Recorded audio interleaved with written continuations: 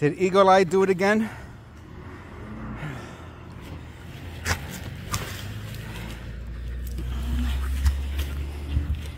Yeah, boy. Got me's a nickel.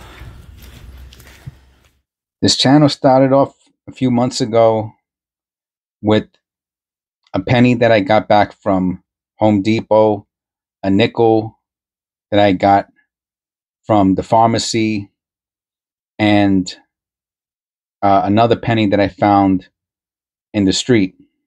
And that's basically the three videos that my channel started off with. And, you know, when I was a kid, me and my cousin, we would walk, when we would walk around in the street, we would, if we saw abandoned cars, we would go into the abandoned car and we would check the seats for change.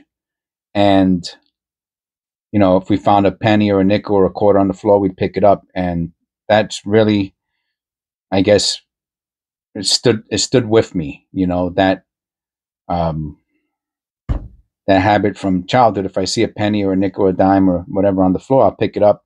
And today we found this nickel. I'm attaching it to the uh, to the video, but this is where this is also what started my my channel, right?